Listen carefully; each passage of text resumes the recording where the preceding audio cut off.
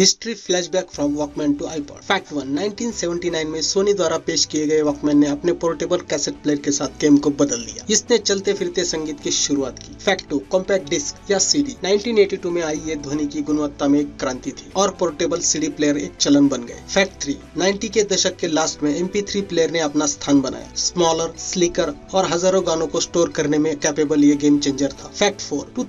में पेश किया गया एप्पल का आईपॉड म्यूजिक का एक प्रतिष्ठित प्रतीक बन गया अपने स्क्रोल व्हील और आइटम्स के साथ इसने म्यूजिक का उपभोग करने के हमारे तरीके को बदल दिया फैक्ट फाइव आज हम स्ट्रीमिंग म्यूजिक सर्विसेज के युग में है वॉकमैन से लेकर आईपॉड तक म्यूजिक टेक ने एक लंबा सफर तय किया है जिससे हम अपनी फिंगर टिप से एंडलेस ट्यून्स एक्सेस कर सकते हैं